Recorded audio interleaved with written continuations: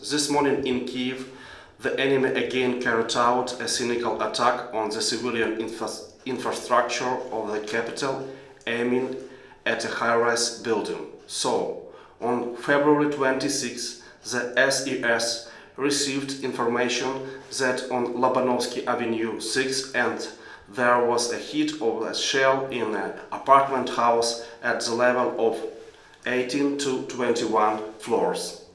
The fire was extinguished. There is a threat of destruction of reinforced concrete. The number of victims is being clarified. We will promptly report of the progress of the elimination of the consequences of this war crime. We also ask people to follow safety rules in the case of an air alert.